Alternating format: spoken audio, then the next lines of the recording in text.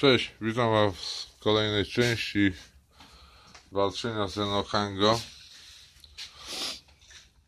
Doszedłem do wniosku, że silnik, który wmontowałem, on na poprzednim samochodzie, bo ja to sprawdzałem sobie, jeździłem nim, zanim kupiłem ten silnik, e, on nie dymił w ogóle, nie? Po przełożeniu do mojego samochodu i zrobieniu pukanki zaczął dymić. Do tego wniosku właśnie doszedłem dzisiaj, że najprawdopodobniej wypukało wszystko. Tutaj mam tłoki, tłoki stare. Wypukało wszystkie nagary z tłoków i dlatego zaczął przepuszczać, nie? Postanowiłem więc wypierdzielić ten silnik z samochodu. No tam jest około godziny rozkręcania plus wywalenia, nie? No i, i, i zacząć po prostu go trochę robić, nie? Yy, Przy wymianie pierścieni, no niestety trzeba wyciągnąć tłoki, żeby je ten, czyli odkręcić yy, z wału. No i następnie wziąć się za oczyszczenie tłoków i schonowaniu y, tych cylindrów, a to dlatego, że już chyba nigdy później nie będę miał tego tak na wierzchu, żeby ewentualnie cokolwiek zrobić, nie? No, także, no niestety pukanka jest dobra, uważam, że jest dobra, powinno się ją stosować.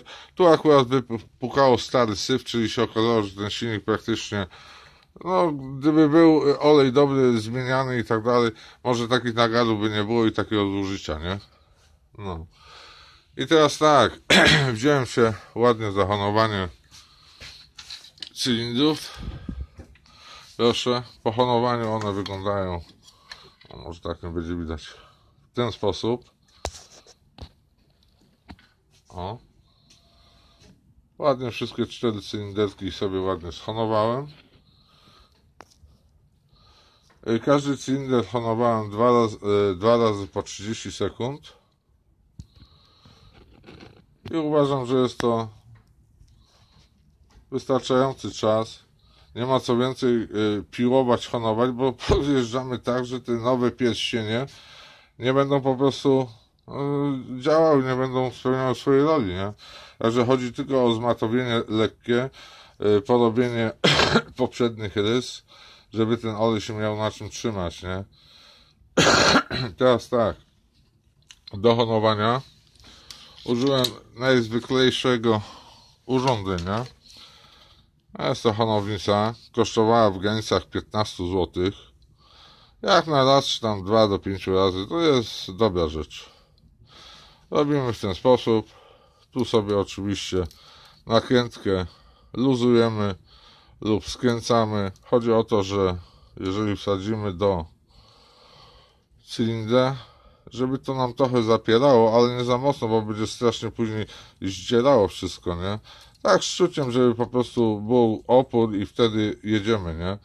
Najlepiej sobie jechać wiertareczką, wkrętarką, cokolwiek tam macie pod ręką. Ja użyłem tam, gdzie jest to gówno?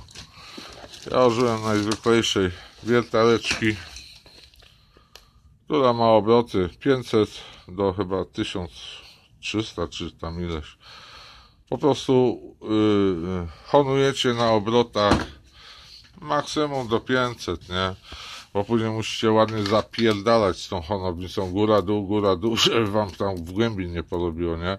Najlepiej to sobie zrobić 500, 400 i wtedy jedziemy, góra, dół, góra, dół. Około 30 sekund każdy cylinderek sobie przejechać, zobaczyć po prostu, co się tam będzie działo, czy to wystarczy te 30 sekund. No u mnie niestety trzeba było zrobić sobie dwa razy po 30 sekund.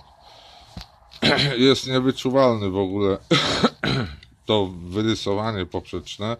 Nie jest wyczuwalne pod palcem, nie? No, tak wyglądają właśnie sobie cylinderki po honowaniu, nie? O. Dlatego się wziąłem za to wszystko i tak dalej, że jak już silnik wypierdzieliłem z tego samochodu, mówię, to porobię to, co po prostu mam dostęp. Tak samo panewki na wale od karbowodów nie były najgorsze, ale po prostu jak już mam to na wierzchu, co mi szkodzi wymienić za 8 dych, czy tam za stówę takie panewki, nie? Bo już wiadomo, że ja tego rozbierać nie będę, no bo to nie ma sensu już tam. Dlatego go robię w ten sposób, żeby jak go wsadzę, to żeby już za dużo się nie bawić z nim. Teraz tak, tu też wymienimy uszczelniacz wału. Pamiętajcie o tym, że to nie może być zwykły uszczelniacz. Tutaj akurat od strony rządu to ma być prawostronny, a od strony sprzęgła musi być lewostronny, nie? I te y, uszczelniacze wymieniam. Tak samo wymienię uszczelniacz skrzyni biegów na tej ośce. Chodzi o to, że po prostu, żebym się nie zdziwił za 1000 czy 2000 km, że puści mi uszczelniać i znowu trzeba wszystko wywalać. Nie, to są groszowe sprawy, 30-40 zł takie uszczelniacze, czy tam do 5 dych. Radzę to po prostu wymienić. Dobra. Odnośnie dalszego działania będą następne filmiki. Długo mnie nie było, no ale no niestety musiałem się zastanowić, co z tą krową zrobić, nie? I doszedłem do wniosku, że no, ta pukanka po prostu wszystko wypukała, nie? No i dobrze. Przynajmniej, kurde, będzie silnik w miarę dobrze zrobiony. tu ładnie oczywiście to jest wszystko ładnie wyczyszczone, tylko nie jechać papierem, kurwa, 100. Ja jechałem sobie papierem 2000 na płynie do naczyń, lekko z wodą zmieszany i uwierzcie, to wszystko ładnie schodziło. Teraz może w kamerze tego tak nie widać, ale praktycznie to to jest takie lusterko, nie? I oczywiście, żeby teraz sprawdzić sobie, czy ten blok nie jest wygięty i tak dalej, ja sobie biorę poziomicę.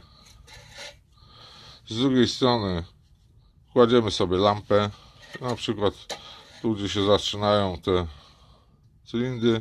Z drugiej strony sobie poświecić. Jeżeli nie prześwituje, znaczy, że mamy powierzchnię płaską, nie? Albo równomiernie, jak prześwituje, jest płaska, nie? Tak samo sobie zobaczyć na cylindrach, nie? Tak, tak, we wszystkie strony, nie? No. no to tam bloki, to tam od kształceniu, to tam rzadko kiedy powstają, nie? Gorzej z głowicą, nie? Nie wiem, co z głowicą będę jeszcze robił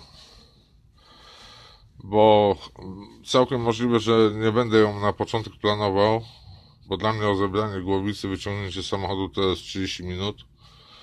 Rozkręcenie sprzętu, wyciągnięcie samej głowicy to jest 30 minut i potem ewentualnie dać do splanowania, a dlatego tego nie robię, bo chcę po prostu sprawdzić ten silnik praktycznie po tych tam wymianach części, naprawach. E, będzie dobrze chodził, jeżeli tak, to wtedy bez problemu sobie głowicę zdejmę dam do planowania i to będzie później wszystko z tym silnikiem. Dobra, na razie. Do następnego razu. Jak walczę dalej, zobaczymy. Pokażę Wam w następnych filmikach. Cześć, trzymajcie się.